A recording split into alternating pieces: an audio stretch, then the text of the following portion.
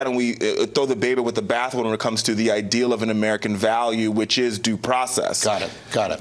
Facebook is ruining society. All right, that's not me. That's straight from the social media site's former vice president, who said, "quote Ready for this? The short-term dopamine-driven feedback loops that we have created are destroying how society works. No civil discourse, no cooperation, misinformation, mistruth."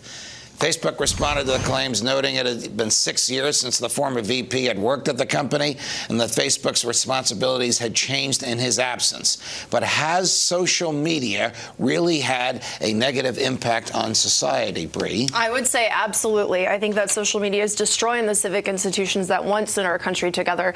Uh, when Alexis de Tocqueville came to visit our country, he noted that uh, despite the vast geographic space, our mores and the habits of our mind and our character was consistent. And those uh, character consistencies were what bound us together. And he noted that we cultivated those mores in the church. And I think Facebook is trying to replace the church, trying to replace civic institutions Facebook that we once held dear. Facebook is trying to replace the church. That is a new one. Mark Zuckerberg said that a All few right. months ago.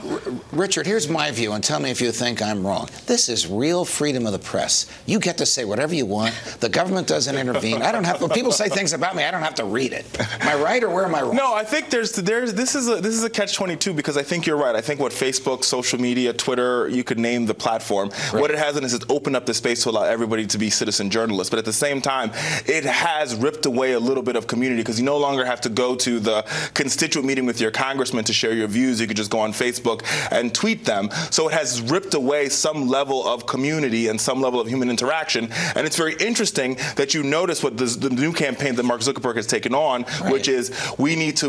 Facebook is now working on how they rebuild or build community because to some extent they've sort of chipped away at it. So now they want to rebuild it. They're admitting that they've destroyed it, and they're trying to They're trying to rebuild, it with an what they, artificial what they thing. destroyed. B, uh, Bre Payton, Richard Fowler, a pleasure. Thank you for joining us. Coming up, the mainstream.